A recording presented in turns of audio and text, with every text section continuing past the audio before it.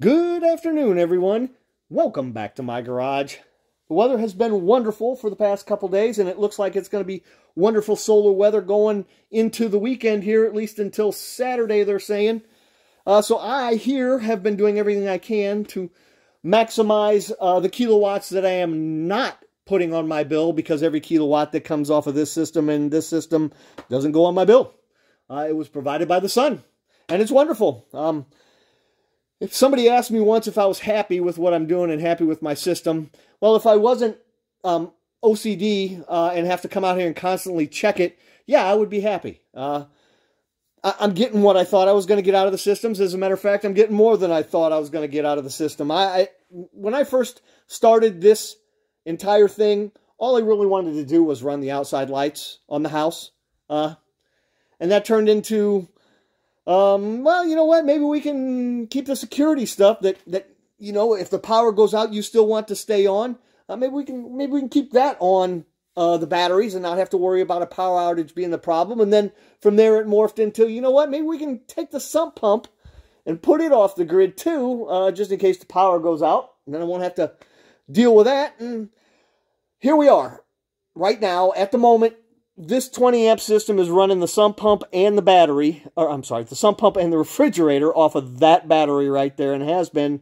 since yesterday at 6 a.m. Uh, the 30 amp system at this moment is running a 50 inch TV, uh, the Wi-Fi, the security system, the DVR uh, with four cameras that records everything outside, uh, the cameras that come with the security system, uh, and the router all that is on this system here, uh, along with, uh, as you can see right here, I'm charging my tool battery. And at the moment, this system is throttling. It's been full since about 2 o'clock this afternoon. This is a 30 amp system, uh, 400 watts worth of panels, and at the moment it is kicking 11.4, and that's because that's what we're drawing, 11.4, uh, and that's the 50 inch TV this battery here, and then the constant load that is always on this system. I've been very happy with the performance I've gotten out of 400 watts worth of panels.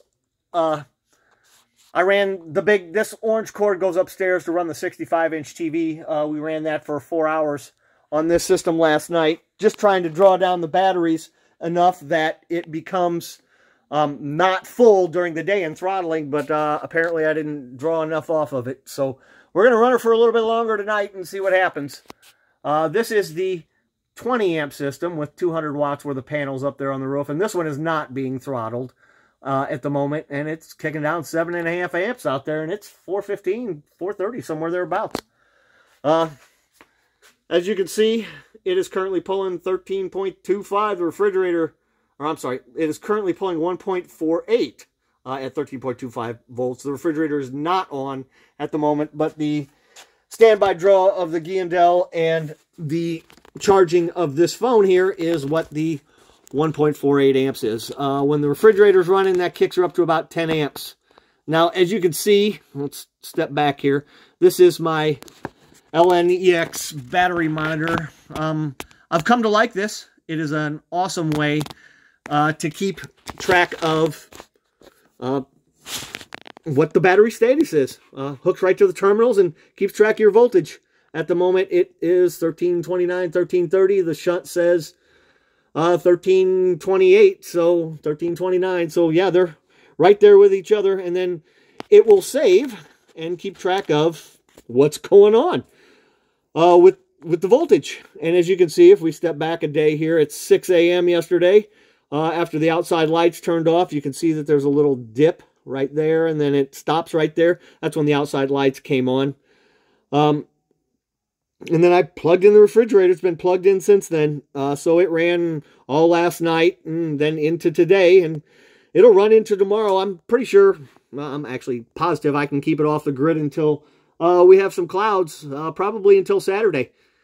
Uh, but the cool thing about this is, is it also keeps track, uh, if you go back, just keep pushing back, and my button doesn't respond that great because the screen is cracked on this. But as you can see, I had the refrigerator off grid there for the day. Uh, and let's go back some more. And off grid that day for the day. And then didn't have a whole lot of sun that day. But as you can see, 4-4, 4.3, had the refrigerator off grid, and this is all sump pump, as you can see, just straight sump pump. Uh, and then refrigerator and sump pump on the second. So I've had the refrigerator off grid quite a bit for the past, I don't know, couple days anyway. So, yes, is it worth it? That's that's a small system right there. That's 200 watts worth of panels and the 200 amp hour battery. Uh, and that's running a refrigerator and a sump pump. And as long as the sun keeps shining pretty good, it'll it'll stay uh, caught up.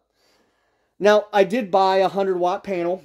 Uh, I'm going to reorganize everything. I'm going to try to draw this system close to as close to 20 amps as I can and then try to make this system over here as close to 30 amps as I can. At the moment, the max I've ever seen on this system is about 24 and a half, and the max on this one I've seen is 13. So we got 6 amps to add to this one and 7 amps to add to this one. I'm going to buy one single 100 watt panel, uh, and then we're going to reorganize the panels that are up there on the roof, uh, and that should get us closer, a lot, a lot closer. Uh, both systems will be over paneled by maybe 15% or so, maybe 20%. Uh, and then we should be getting real close to pulling uh, 30 amps through this system and pulling 20 amps through this system here.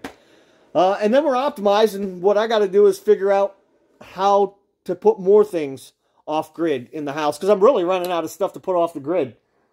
Uh, little stuff anyway. Uh, I can't put my well pump off the grid because it draws too much. I don't have enough battery for that. Uh, that'd have to be a 48 volt system to do something like that.